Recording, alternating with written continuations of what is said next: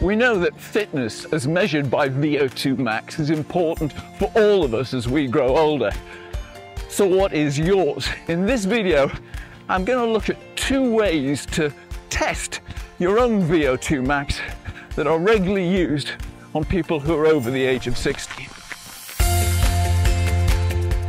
VO2 max is a single number that gives a measure of fitness. It's closely correlated with independent living. In this video, I explained that if it drops below a certain level, it'll largely rule out being able to look after yourself. And incidentally, if you see any YouTubers claiming a startlingly high VO2 max, ask if it's just a smartwatch estimate or whether they've done one of these simple self-test estimates. And if not, why? Knowing your precise VO2 max number doesn't really matter.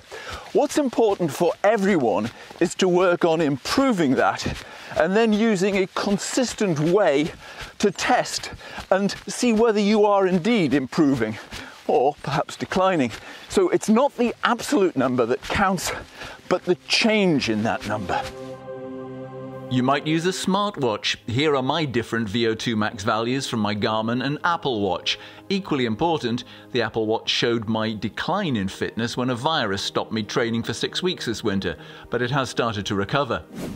Specialist equipment, a metabolic cart, is the only way to actually measure VO2 max. Everything else is an estimate. On systems like this, you have to push yourself until you can go no harder and you reach your maximum heart rate. But there are other ways, and you don't have to have a fancy smartwatch.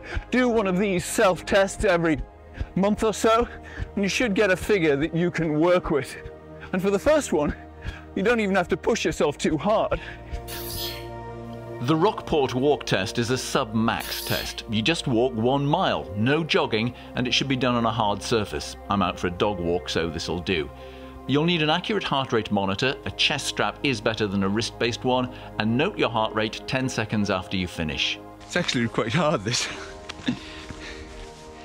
My heart rate's not that high, it's just over 100, but still.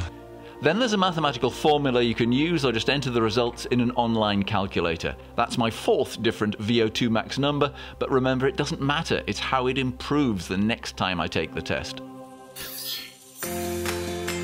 Dr. Kenneth Cooper came up with this test in 1968, and it's quite simple. You just see how far you can run in 12 minutes. I'm working in kilometers for this just because the mathematics is easier. Uh, let's see how far I can go.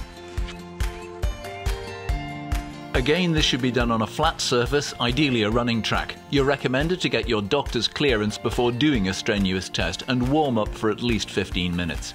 You don't need a heart rate strap, just a 12 minute clock and a way of measuring distance. I think I've messed up. Not only am I too hot, I've run out of road. I run faster, got two minutes to go. So I'm gonna turn around and go back again. So that'll slow me, but as long as I do the same thing next time, the comparison will be fair. Consistency is what matters. Touch the bridge and go again. Thanks to these people who are channel members and support my videos. Find out more by clicking the join button below each video. Five, three, 2.16 kilometers. yeah, I think that's going to be my VO2 max training for this week. I used to be able to run an hour for that pace. Yeah raging against that decline while accepting its inevitability. There's something to be said for that. Again, there's a formula and an online calculator which gives me an almost identical result to the walk test, but quite different to the smartwatches, and all of these different again to the figure actually measured in the lab. But this absolute figure is not important to me. My takeaway from these are they are about encouragement. You want to be able to see yourself improve, to chart your progress. And if you do that, these VO2 max estimates are very well worth doing. If you found this helpful, please give me a thumbs up. Check out more of the Older Athlete series here and some adventure cycling videos here. I will see you again next time. Thank you for your company.